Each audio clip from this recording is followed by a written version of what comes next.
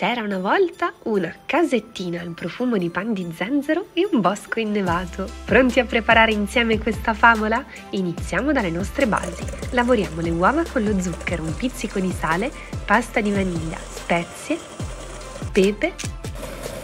Uniamo a filo l'olio, il lievito e infine la farina, alternandola con il latte.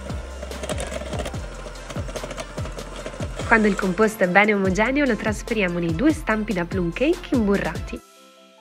Sbattiamo sul piano e cuociamo a 170 gradi per circa 45 minuti.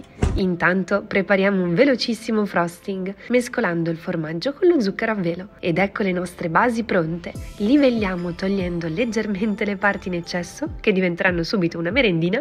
Tagliamo in tre parti e ciascuna a metà Farciamo con il frosting e ricopriamo per un effetto nude cake. Ciuffettini sulla parte superiore con l'aiuto di una sacca poche ed ora è il momento di pavesini, perfetti per diventare il tetto della nostra casetta.